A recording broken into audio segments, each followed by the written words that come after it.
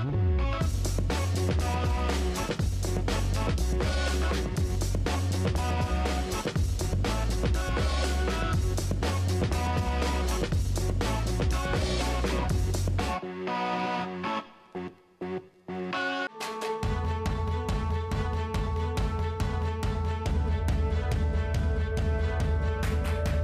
This is what Kazan looked just a few days ago. It's springtime and Ak Bars has made it to the Gagarin Cup playoffs. It was here where one of the most exciting first round games took place. It was here where Tatarstan capital team met Siberian capital team.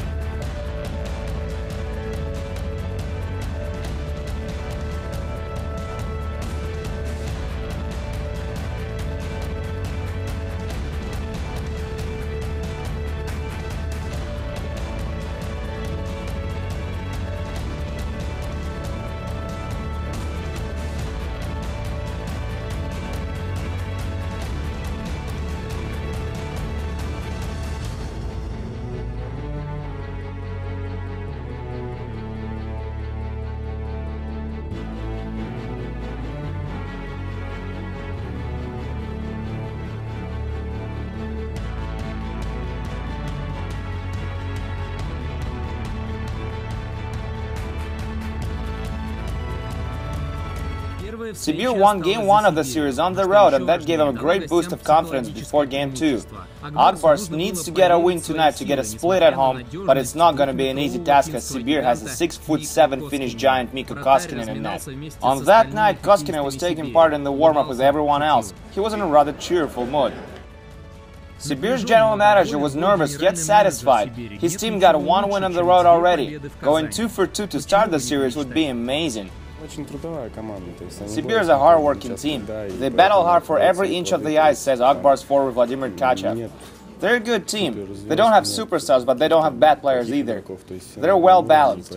Everyone knows they gotta battle hard to get a spot on the team, and they really want to win. Kazan lacks fans for the series. Ak Bars doesn't have any sort of rivalry with Sibir, so none of the first two games were sold out. Team management tried to lure the fans in, but they didn't do so well. Ak Bars' management was heavily criticized for a low ticket revenue and they know about it. The whole music ban idea just didn't pan out. The fans are more into hockey than anything else.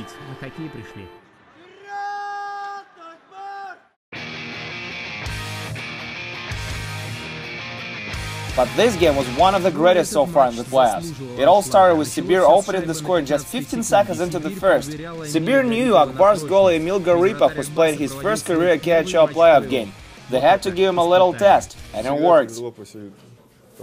It's never easy to come back in the game when you get scored on the first shot. I was able to focus though, says Garipov. I had to change my game a little bit, play a little different, and it worked out great. I worked hard with my coaches to get here. We'll see what I can achieve by the end of the season. It looked like game one had never ended. Right from the get-go, Ak Bars was forced to look for a game-tying goal. Ak Bars has a lot of skilled players on the team. They're able to apply different strategies, but honestly speaking, all their rushes seem to follow simple philosophy, crush the net.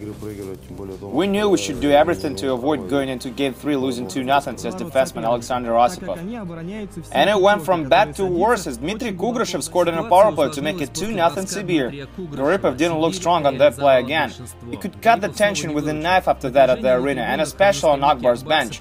Alexander Norden was calling the game for local TV station, and just like thousands of his viewers, he saw that Ak Bars had no keys to Sibir's defense.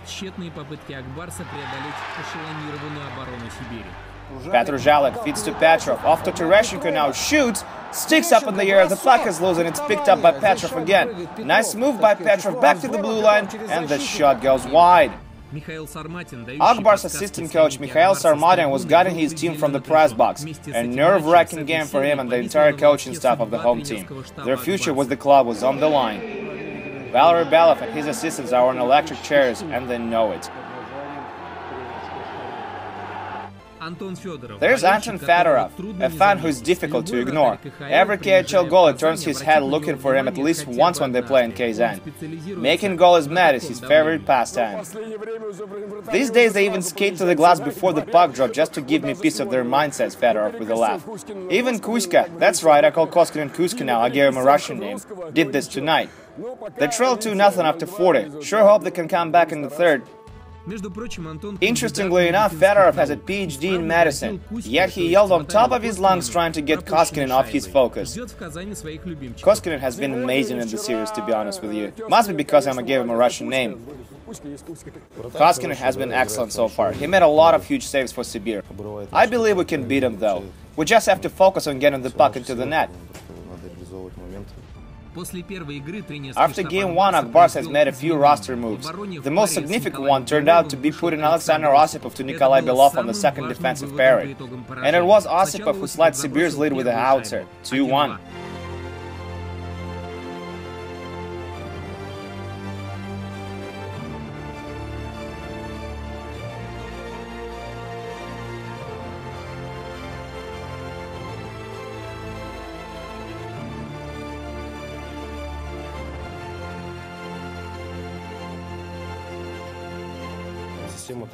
We didn't change our strategy coming into game 2.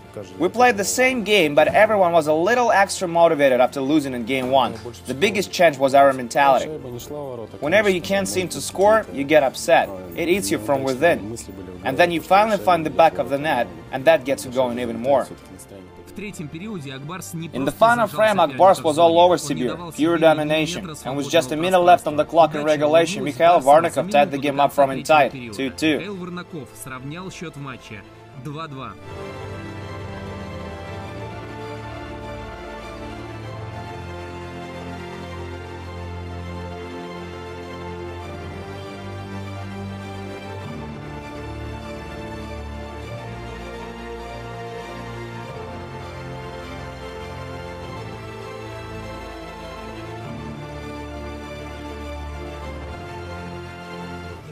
That goal has certainly lifted our spirit, and that's what probably helped us in overtime. Besides, we listened to our coach, stick to the game plan, and it worked out just fine.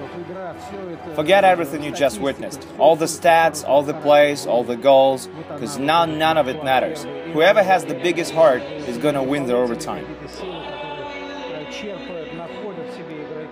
This is the real playoffs now. My voice is husky, and it's all because of that. Even in game one, they didn't yet feel the taste of the playoffs. Now they're going to duke it out in overtime, and that's what playoff hockey is all about. It's a battle. It's not a regular season game anymore.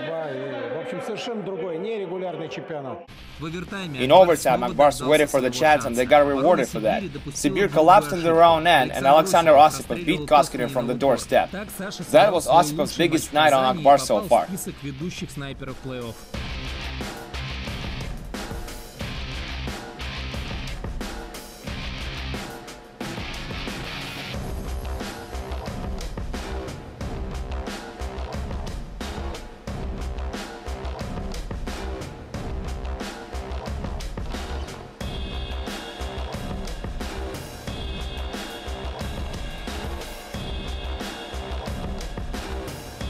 So far, it's definitely my biggest game here. I'm happy we won such an emotional game. Now I have to work harder, improve my game, and play a bigger role on the team. As for the game winner, it was just one of those offensive rushes where a defenseman has a right to drop low. Nothing special. Janne Pesonen put the puck on net hoping for a rebound, and that's exactly what happened. My job was pretty easy after that. I'm not gonna lie, I was a little nervous heading into overtime. It was my first career KHL playoff game, and it went to overtime. The guys did a great job out there and got us the win.